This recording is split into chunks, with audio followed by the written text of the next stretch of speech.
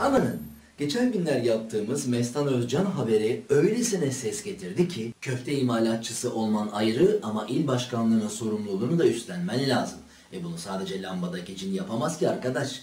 Yani lambadaki cin Tekirdağ'ın sorunlarını dile getirecek. Tekirdağ'da Cumhuriyet Halk Partisi'nin aymazlıklarını dile getirecek. Muhalefet yapacak. Esas muhalefet yapması gerekenler yan gelip yatacak. Ne güzel ya.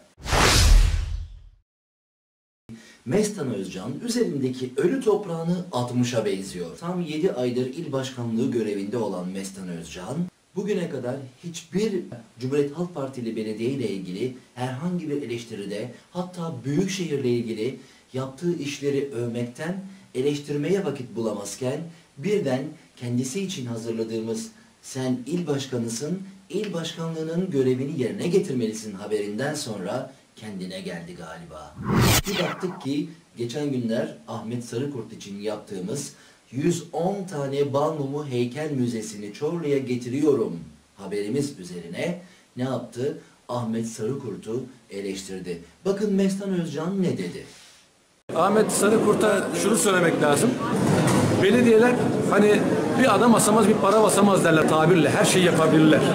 Belediyeler kendi kaynağını kendisi yaratabilecek akla, zekaya, hırsa, heyecana, tutkuya sahip olmalılar. Olmalılar. Bizim bunlardan e, bir haber belediye başkanlarımız var maalesef. Onlar da böyle uyuyorlar. Uyanın. Uyumayın. Uyanın. Uyuyorlar, uyuyorlar, uyuyorlar, uyuyorlar ve parayı yönetemiyorlar. Yöneticilik herkesin harcı değil. Yani esnaflık, tacirlik, tüccarlık yapan adamların yöneticiliğiyle sadece üniversiteyi bitirip de bir yerde memurluk yapıp ondan sonra cad diye belediyeye gelen insanların yöneticiliği arasında fark oluyor. Ya olmaz mı? E oluyor tabii yani. İyi paralar harcandığı söyleniyor. Eskişehir'de belediye başkanının kızının bir atölyesi var orada yaptırıldığı. Eskişehir Belediye Başkanı'nın buradan nemalandığı söyleniyor. Eskişehir Belediye Başkanı'nın buradan nemalandığı söyleniyor diyor. Tekirdağ AK Parti İl Başkanı Mestan Özcan. Yılmaz Büyükerşen buradan nemalandı mı? Ahmet, Ahmet Sarıkurt. Havada rant kokusu var deniyor. Nedir bu işin aslı? Çıkıp açıklama yapacaksın. Çorluları ve özellikle de biz Tekirdağlıları ne yapacaksın? Aydınlatacaksın. Sorulara cevap vereceksin.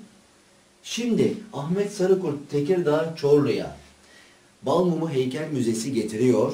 Aslında mikrofonları Ünal Baysan'a tutmak lazım. Hani diyorlar ya Ahmet Sarıkurt'un ipleri Ünal Baysan'ın elinde. E o zaman Ünal Baysan'ın elindeyse mikrofonu da Ahmet Sarıkurt'a değil Ünal Baysan'a tutmak lazım. Ey eski Çorlu Belediye Başkanı Ünal Baysan. 110 tane Balmumu heykelle ilgili sen ne düşünüyorsun?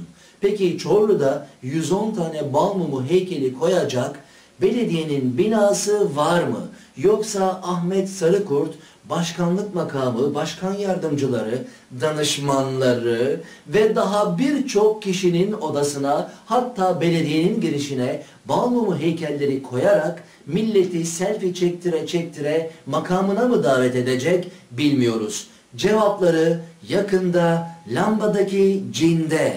Bizi izleyin, haberiniz olsun. Ne demiştik müziğimizde? Bir daha gelirsen bu dünyaya yine cin olur çıkardım karşına Bir daha gelirsen bu dünyaya yine cin olur çıkardım karşına Nijat Ayvaz, kül yutmaz. Kalın sağlıcakla.